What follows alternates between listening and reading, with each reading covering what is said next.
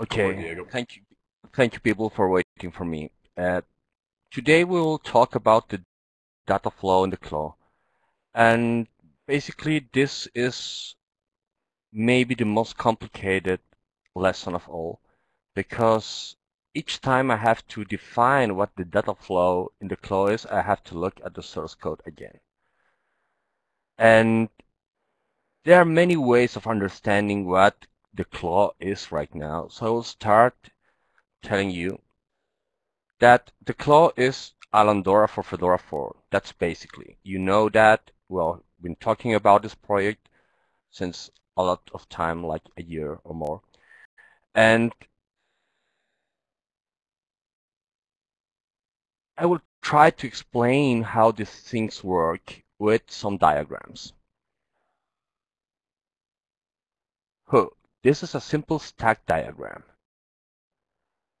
And, well, if you look closely, it's something very complicated. Very cryptic. So, since I failed with the serious part, I will start doing doodles. Basically, this is how our different stack pieces look like. A claw environment. We have this presentation layer user interface CMS you already know from Islandora 1, Drupal. We have these indexes that we can use to search and to also ask about uh, RDF, Solr, basically search, Blazegraph, or Triple Store. We have this middleware routing, transforming, and async stuff, I will name that, based on Camel, We will start naming this the obscure magic part. And then we have our preservation layer, or repository. And we talk about that the last two sessions, so I think you already have clear how Fedora works and what role ActiveMQ plays there. If we do like a level zero zoom on how these things interconnect, we have Drupal sending stuff directly to Solr and using Solr directly for searches. We have Drupal sending stuff to this camel component and getting also data back.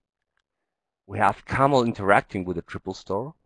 We have camel interacting with Fedora and also camel listening to ActiveMQ. And even when this is a very simple diagram, basically stating what moves from where to where, we still have this obscure magic part. The big question is, where is Islandora Claw in this diagram? And I think you already are supposing that this Islandora is inside the obscure magic part. But hey, it's not that worse. Islandora Claw is a bit everywhere and among us. It's a very different definition of what software is if we compare that to our previous Islandora. Our previous Islandora was pretty well defined. It was a few modules interacting with Drupal, but not using Drupal at its full extent, and some ways of connecting that to Fedora 3 using Tuque, a standalone library, and basically the rest was done through Tomcat and Java and whatever, and it was not part of Islandora. Well, I love this diagram. Basically, we always define Islandora as middleware. And basically on our current system, the Islandora 7x17, just on, on release candidate, I think, we have like Drupal as one thing, Islandora in the middle with their modules that interact at some point to Drupal that live there. And then we have like Fedora 381, which deals with storage and preservation. On the Islandora Claw side, it gets differently handled. basically we have Islandora being part of Drupal. It's not anymore something that we try to adapt, but Islandora deals with Drupal content, with Drupal things directly, and how Drupal do stuff is how Islandora does stuff. But also one part of this Islandora claw lives inside Camel. And it's written in Java and Spring and Blueprint XML and other stuff that we use to define what Camel is. And then we also have like these individual pieces of PHP that can do stuff that are not directly Drupal modules. And we can use these commands, and Danny did a great job building this command stack based on a framework named Symfony.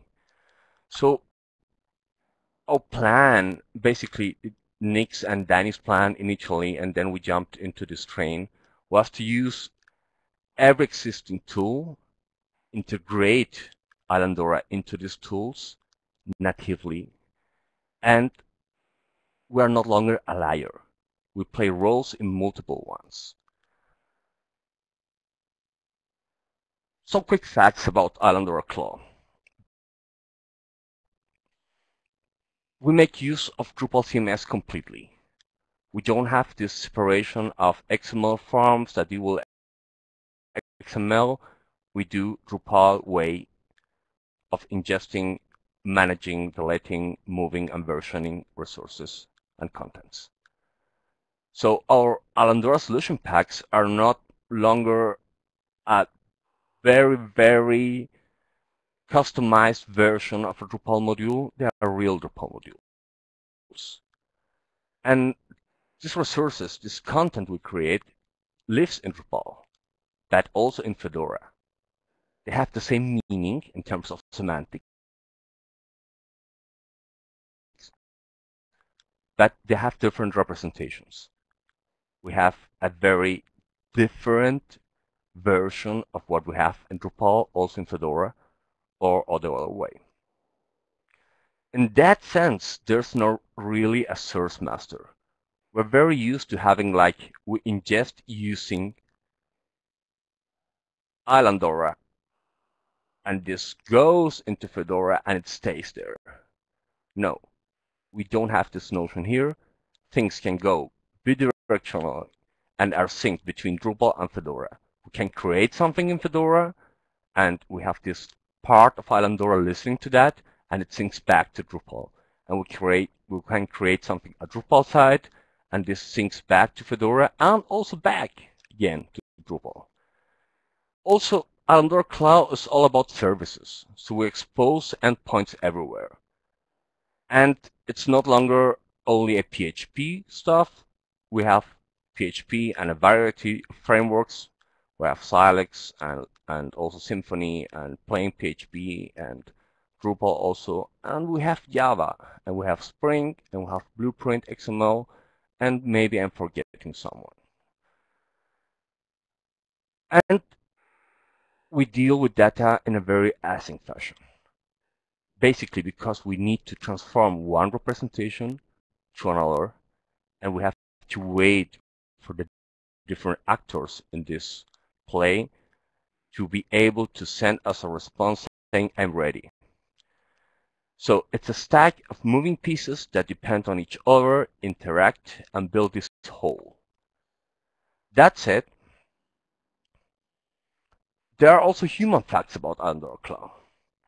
And this is very important, and I will try to encourage you to be part of this, not at the end of this presentation, but here because what's coming next is very complicated. We're a small group of developers, five humans. And Nick Ruest is our project director and a great guy leading us, making us work together and encouraging us when we're tired. And basically this works because we have this project director.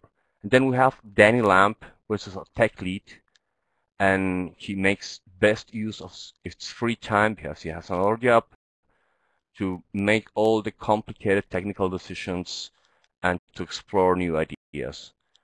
And the base idea of this is that we're committed to make this a very good software. So we are making it slow. We're not making rush decisions. We're not making everything work and written on stone.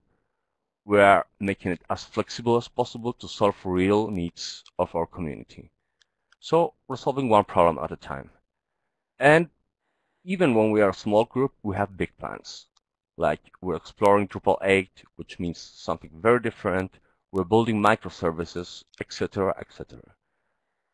And that said, also, we're very open to discuss and modify things. So what we, you will see right now is our 2x branch, which is getting modified and we're adding stuff and removing and fixing stuff. It works. It works fine. It's an awesome effort to make it work like we're doing it right now. That we are open to modify things and to adapt to new needs. And to make this happen, we meet each week and you're invited because we don't know what are these new needs. So we need you. Okay, since we're talking about data flow, we have to start defining what data is in Islandora Claw. We have these two different ways of seeing stuff. Drupal content, Islandora generates real Drupal content, real ones with fields, entities, content types, whatever you think about you did before on the only Drupal side, well, Islandora interacts with that. So each time you ingest something, you get something into a database, the Drupal one. And we also have the Fedora 4 RDF resources. And Islandora CRUDs basically can read, delete, update those real Fedora resources. But even when they mean the similar things, they're not the same. They have different structures. Drupal content is stored in a database. Fedora 4 it's stored in right now ModeShape and then Infinispan for catching or whatever, and it's RDF basically. Drupal content is has RDF capabilities, it's not RDF. So maybe you're already in touch with Drupal content's definition. What I, I will make a short review of what Drupal thinks as of a content. Drupal provides content types and entity types. Entity types can be fields, an image, or whatever, and content types define something broader. At Islandora, we extend the Drupal node, the basic node when you create like node 1, node 2, node 3, to make a bundle. A bundle is like an aggregation of something basic defined as an entity type plus some extras. These bundles on our implementation include RDF fields. And these RDF fields are built in Drupal. Yeah, Drupal is RDF enabled. So we have these properties. And we can also add our fields too, like image fields and XML fields. We have XPath module and they are configurable. You can add before creating content to them new ones. We also integrated the UID module. So we have UID back. This is very important. I talked the last two sessions about how Fedora manages identification of resources using paths. Well, we still have the UID and it plays a big role that only on the Drupal content. And well, this whole content and entity, because this is like an instance of these content types and bundles, lives in Drupal MySQL. This is a big change. In Islandora 7x, content was always in Fedora 3. whatever. Now we have like this different representation of our content. Maybe not the whole thing, maybe not this big image, but we are able to see it, to interact with it, and to define it at the Drupal level and also store it at the Drupal level. We can see Drupal as a way of catching stuff. And we also have versions. These entities are versional as a whole, and we get an URL. some domain.com slash node1 or UID if you're using to expose it. Again, this I will make this very quick. We have seen this a lot of time. Fedora 4 on the other side has RDF types and properties. It's a graph mm, or resources linked together. Uh, it defines LDP containers, and we get these paths as, as IDs, and this lives in Fedora 4, and each resource can be versioned, each individual resource. And as you see, one Fedora content can be mapped to one Drupal content, but also one Drupal content can be mapped to a few different Fedora contents. That means we need to transform stuff. Because we have this back and forth. We create something on one side and it flows to our side and it can flow back. Okay, I'm still very in love with doodles. This is a very simple diagram. If something is born on the Drupal side, we make a JSON representation of that. We send it to this obscure camel component. This JSON becomes a message internally, and then it gets transformed with some adding of stuff to a SPARQL update and it gets preserved finally on Fedora. On the other side, if something is born on Fedora, we get this triples RDF representation of the folder source, and it becomes then a message. We strip some stuff out that we don't need on the Drupal side. Then we on the camel transform it to JSON, and then we send it back to Drupal, and we have a representation of that. This is very simplified under a cloud data flow. That means we have one way, other way, but in the reality, this mixes. And, and during a real ingest, stuff flows from one side to another and back and forth and back. Even when I don't want to confuse you, I will have to make some more detailed diagrams to explain how this works. Okay, I try to use colors to different different parts. So blue will be Drupal side, green will be Camel, red Fedora, this I don't know Ruby Lilac one ActiveMQ, and the rosa Blazegraph on Solr.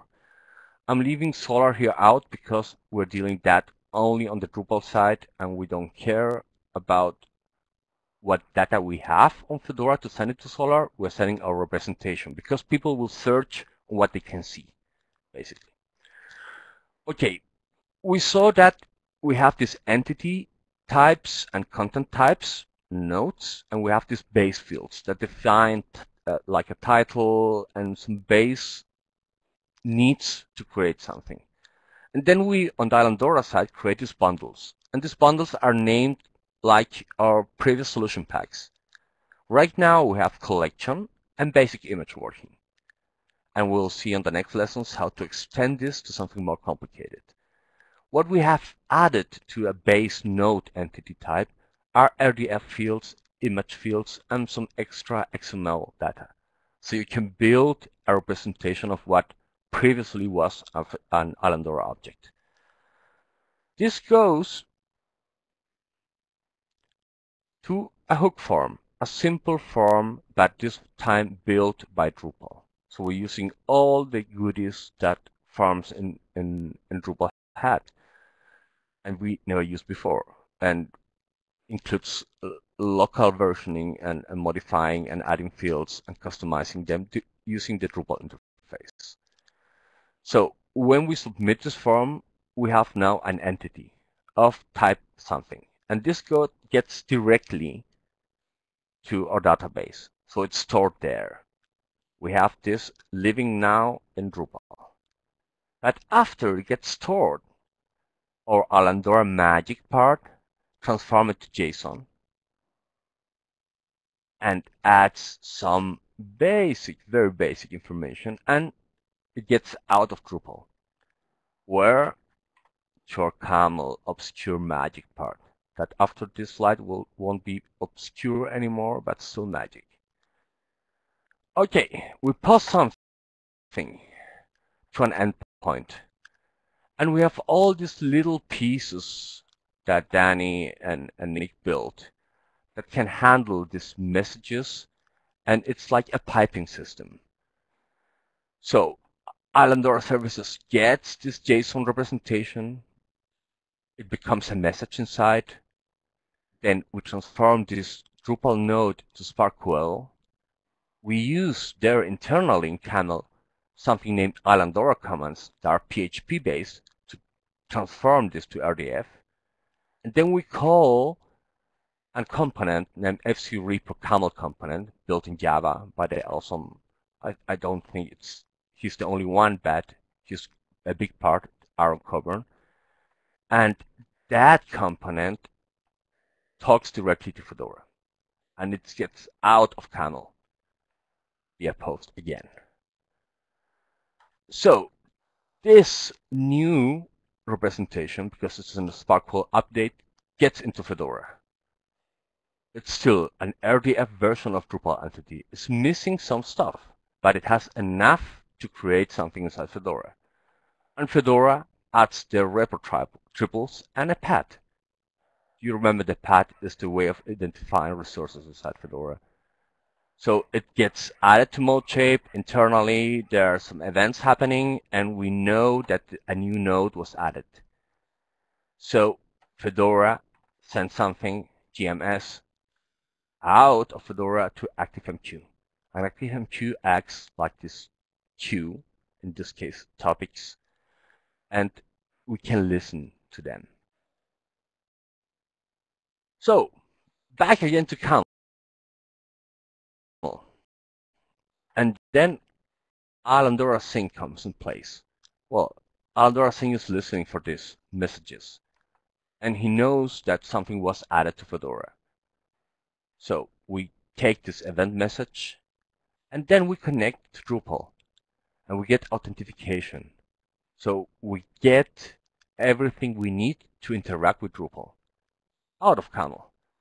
And then we get again to Fedora to fetch what was modified because Fedora added new triples to this. Hey, has this a new ID? Yes, because we added it using directly Drupal and Drupal added a UID. Great. So we get the Drupal node, the original one, we already have stored in the first step of Drupal and fetch everything. Join the new triples to this. We transform this into a Drupal node definition and we update the Drupal service using again these Islandora commands, which are pretty cool. Well, that at the same time, because this is async, the Fedora Camel toolbox, also built by the awesome Aaron Coburn, is listening to the active MQ topics. And he also gets an event saying, hey, something was added. So he gets this triple star rotor and says, I need information that was added, gets out of Camel again to Fedora, makes an SPARQL update processor, and out of camel inserts new triples into Blazegraph. So, this is complicated, but I tried to make it as simple as possible. What I showed you there was a very simple ingest process, but we're not limited to that. We're able to delete stuff, we can create more complex stuff like the image where we're putting a thumbnail and also an image inside. And we can also update stuff coming directly from Fedora. I won't show you each of these workflows because you will get like crazy and mad with me. But the idea is Islandora lives in multiple parts and Camel is our best friend to make this synchronization between, between one CMS system not built for preservation to be able to talk with this big repo RDF-based Fedora 4 that is built for representation. The cool thing is at some point you can disconnect if you want your Drupal instance of Fedora and serve static content and even put like varnish in front of that and it will be super fast.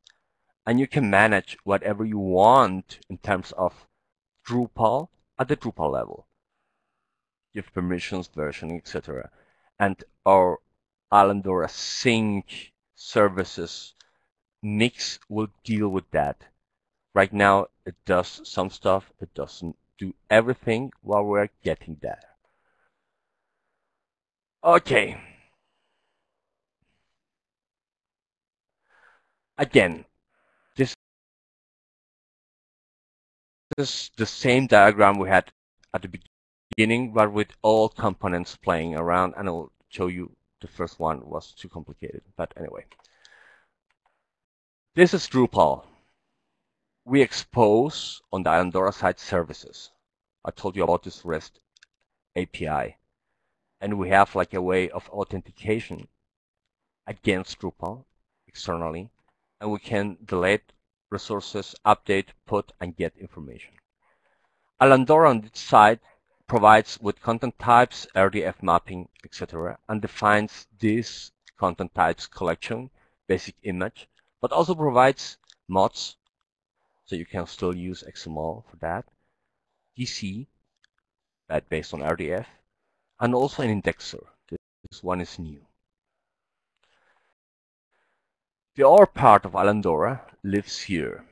And I put this new guy in place named Karaf. Karaf is an OSGI container basically dealing with enabling other applications to use multiple different services and interact. So Camel just does the transforming and routing. Karaf provides this base so Camel can find different resources available in different uh, programming languages and different ways of doing stuff and use them like Lego pieces. Like the Islandora commands, which are made in PHP, or the FCA repo camel that interacts with Fedora and built in Java. And we have other ones, like blueprinting and whatever. And Islandora Services provides just REST endpoints our sync deals with syncing and listen to ActiveMQ. And we have this toolbox also there in place. And then we have Fedora and Blazegraph and ActiveMQ. Wow, this is huge. I put some numbers there, not saying what comes first, but trying to identify approximately how things will work in terms of parallel work or next or first. The same I showed you in very detail, I will make it fast here. You put something inside Drupal. Drupal stores this content, this new node, and puts that representation to Solr. Then it sends to Islandora service. Service goes to Fedora. Fedora says, hey, new audit to ActiveMQ. Those guys are listening to ActiveMQ. So the FC repo toolbox communicates with Blazegraph and updates, but also Islandora sync is listening, fetch what was recently added to Fedora and send it back using these services to Drupal. And also, at the same time, when we first started number one, this guy sent something new to ActiveMQ. A new event, an internal one, and adds a very specific set of Islandora triples that don't live here into Blazegraph. Why? Because on the Fedora side, we have paths, and they're useful in linking data. They're very useful, but we're not exposing them to the world. People can go into whatever my awesome slash 8080 slash rest. We are protecting that. So when we want to expose linked data, we need the real path. And the real path is my awesome domain slash node 1, node 2, node 3. So we need to join what Blazegraph knows about Fedora 4 with what we need to expose from the Drupal side. And I know this is too much, but it's very simple to follow. If you go into reading the source code and if you have some time during this week, we can do it together and we can also open the issues and ask for that. And you can interact with me on our people on RC, IRC or even the CLAW call. We can go into the real code step by step. But this basically was built, this all these diagrams I made and these tools to explain you that this is a different architecture. It's not in sync. You don't have like step one, step two, step three, and it's and it ends there. Data flows back and forth. And we need to be able to understand that async is a reality and we will handle this. Even when lots of stuff will change, async will be a reality for us. And the next session will be hands-on the Drupal side, where we're changing, adding fields, and creating a new content type for that.